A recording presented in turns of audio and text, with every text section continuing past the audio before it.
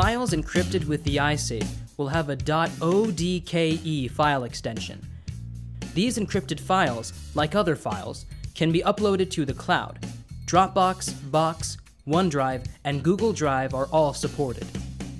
To decrypt these files from your Android phone, open the iSafe Secure Key Viewer app, which can be downloaded from the Google Play Store. Tap the iSafe to the NFC sensor on the back of your Android phone. Files that were encrypted for share will require an input password. If someone attempts to decrypt your file with a different iSafe, the file will fail to decrypt.